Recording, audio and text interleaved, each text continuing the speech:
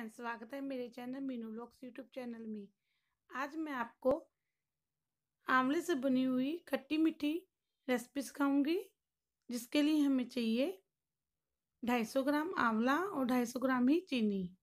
सबसे पहले मैंने आंवलों को धोकर उबाल लिया है और इसकी फाड़ी कर ली है और इसको मिक्सी में पीस लिया है।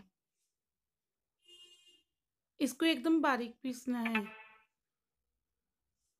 इसके बाद मैंने एक कढ़ाई ली है, उसमें एक चम्मच घी डाला है और उसमें चार छोटे चम्मच पानी और चीनी ऐड कर दी है।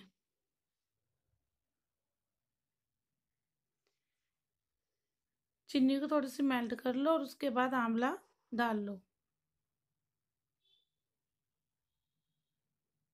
फिर इसको खूब अच्छी तरह हिलाते रहो, आंवला और चीनी मेल्ट हो जाएगी इन मेल्ट होने पर इसमें आधे से भी कम चम्मच जीरा, थोड़ी सी काली मिर्च, आधे से भी कम चम्मच काला नमक,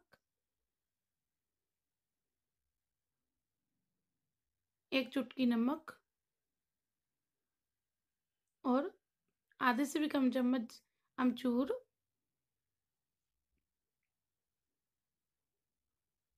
डालकर इसको अच्छी तरह मिला लीजिए। ये गाढ़ा होने लग जाए तब इसमें एक चुटकी खाने वाला रंग मिला दीजिए। देखिए फ्रेंड्स, ये गाढ़ा हो गया है और कितना अच्छा कलर आया है। अगर आपको कलर कम लगे तो इसमें और भी रंग, खाने वाला रंग डाल लीजिए और इसको पकाते रहो।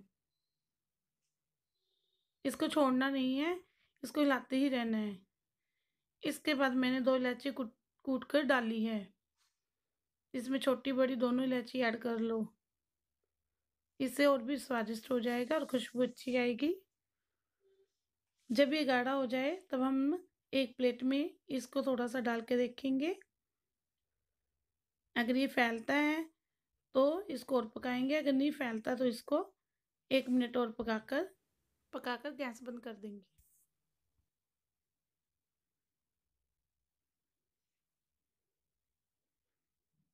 एक घी, एक प्लेट लीजिए, उसमें घी लगाकर ये सारा मिश्रण डाल लीजिए। और इसको अच्छी तरह फैला लीजिए। इसको दो तीन घंटे सूखने दीजिए। सूखने के बाद इसको काट लीजिए। इसको अपनी मन, मनचाही शेप में काट लीजिए।